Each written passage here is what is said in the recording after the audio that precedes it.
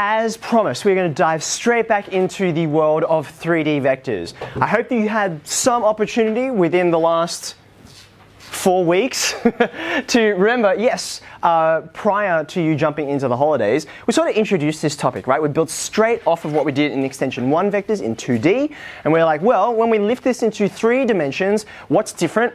And what's the same.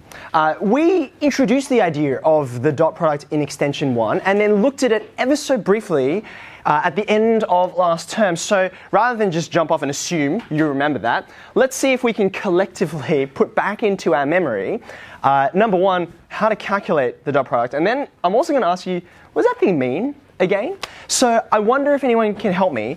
Going back to extension 1, we can calculate the dot product I'll even give you a hand. It's really simple. There are two little products involved when you're doing the dot product of a pair of 2D vectors. Can anyone help me start? What are the things that we're multiplying together to work out a 2D dot product? Yeah, go ahead. Okay, x1, x2 plus y1, y2.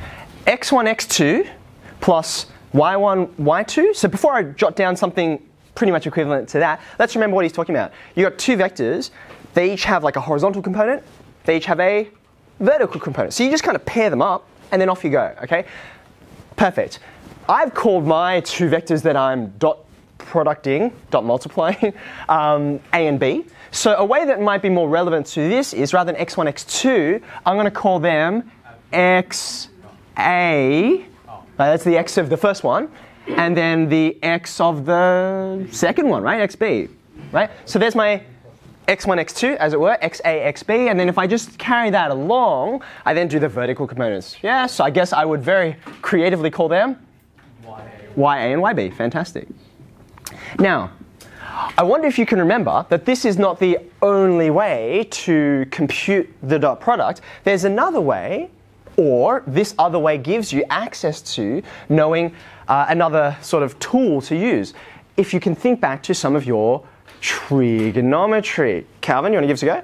Um, the absolute value of A times absolute value of B times cos C, which is an angle.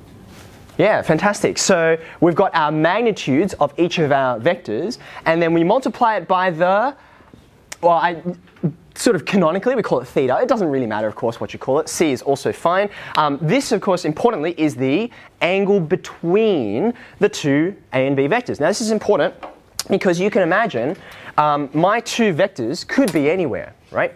They could sort of be like, whoop, here they are, okay, depending on their positions. What we do is we say, imagine them together, right? We put their tails together, and then we consider this angle in here right? Now this is very important because if, for example, um, you've got these two vectors and they're pointing in exactly the same direction, what is theta going to be equal to? This is zero, right? So when you go ahead and work out cos of zero, cos of zero is 1. So therefore, you're multiplying these things and they're working in the maximum, like same direction together. Do you remember that? If I then say, oh, what if I have a theta of pi on 2? Cos of pi on 2 is 0. So in fact, your dot product ends up being 0 if your two vectors are perpendicular or a better word in the context of vectors is orthogonal, right? And then one last one, just as the classic example. If we then said, okay, if our vectors are heading in the opposite direction, right, uh, the theta between them will be pi, and cos of pi is, cos of pi is it's negative 1, negative 1. So they are acting in the most opposite direction we can, right? Does that make sense? So you get like some large negative number, okay? Now this is my segue to remind you, this is how you calculate the dot product, but what does it mean again? We gave you like a bunch of different metaphors for this. How would you describe it? Here's the hard part. Hmm.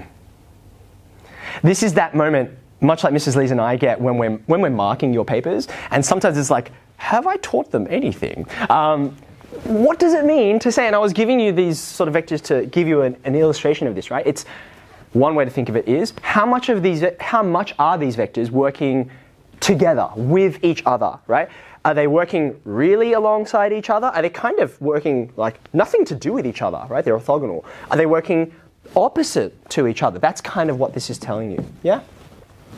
Wonderful. So, again, we already actually know this bit, but to get your brain in the same spot, if we were to extend this two dimensional result here into three dimensions, well, it doesn't take a huge amount of creativity. What's going to change? Instead of doing xa, xb plus ya, yb, what's going to be, change is the wrong word, what's additional to this? There's just, yeah, there's just a common, write it with me, right? We've got all of the same stuff we had before, xa, xb, because there's still a horizontal component, ya, yb, because there's still a vertical component, but now I've got a, a third dimension, right? So I'm going to go za, zb. Okay, now at this point, I want you to remember, and I'm just going to run out of hands, I should have brought the table back out to do this. When we go into 3D, even though computing it in component form requires us to have this extra dimension on there, when we go and try and do this you know, comparison to the trigonometric form, I wonder how many of you were surprised that in fact the result is, like what's the formula in three dimensions? It's, say it again, I heard it. It's exactly the same. It's exactly the same. Uh, magnitude of A, magnitude of B, and then cos of the angle between them. And the reason for that is, even when you're in three dimensions and you've got two vectors off in weird, wonderful directions, right?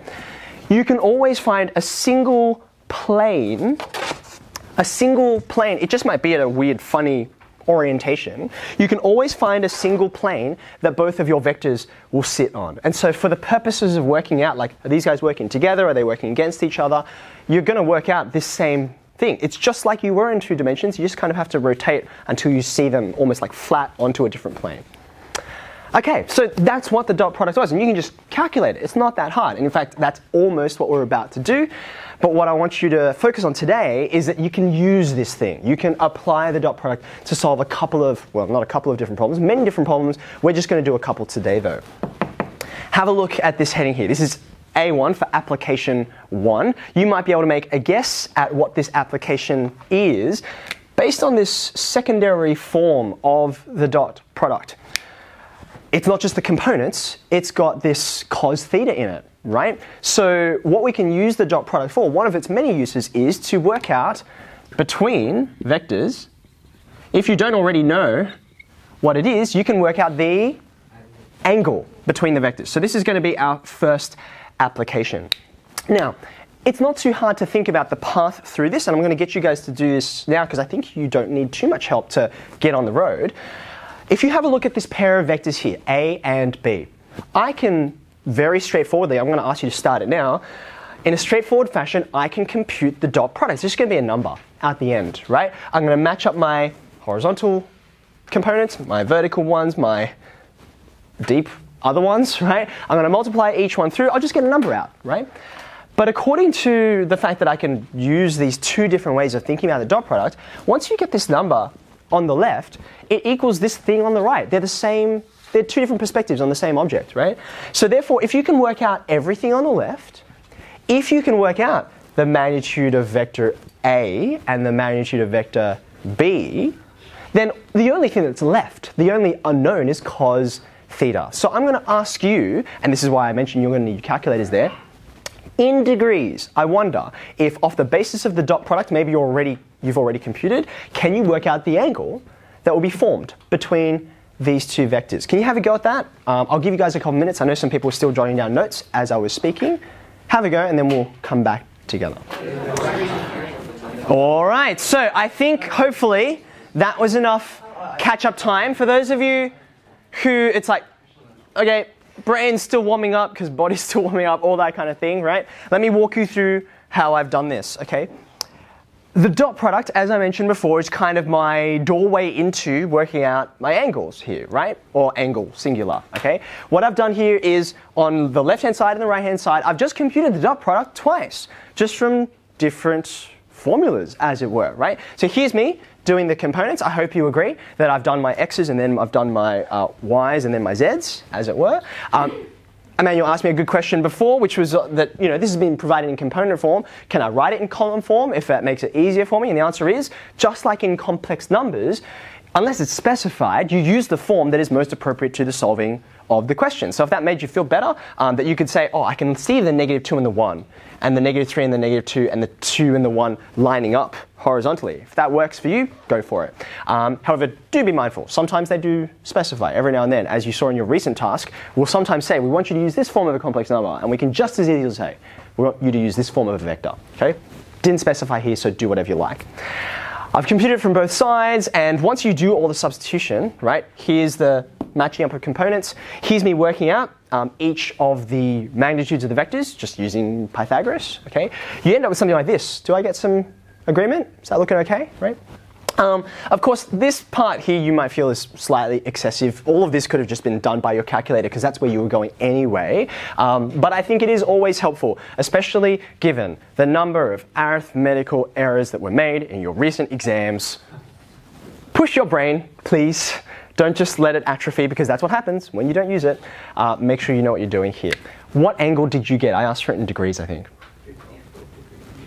54? You happy with that? Yeah.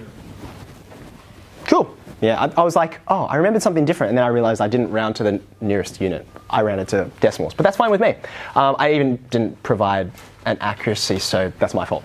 Happy with that? Makes sense? Uh, one of the wonderful things about this, by the way, is that unlike, say, you know, when you learnt the sine rule the first time, do you remember that back in like year 10, uh, we had to deal with ambiguity, the ambiguous case of the sine rule, but the cosine rule has no such problem, right? Because when you run through from 0 all through a through to pi, you get what's the word I'm looking for? Unique values, right? You don't have to think, oh, do I have the acute version or the obtuse version? So, in fact, if you wanted, you could have said right from the outset, and the textbook actually does this, right? It says theta is equal to, unambiguously, cos inverse of, and then it takes your dot product over here and then divides through by everything over here on the right hand side, right? So if you wanted it, not that I think it's worth memorizing, but what did I just say? Cos, sorry, theta equals cos, why did I rub that out? Um, where's my components? So I guess I would just say a dot b all over what was left on the right hand side. It's the magnitude of a and the magnitude of b. And just chuck that in there, right? Um, I think it is vastly superior to actually know what you're doing rather than have another formula in your head, which you could just as easily have gotten from rearranging that, but you'll see this sometimes, so I want you to know where it comes from. Okay?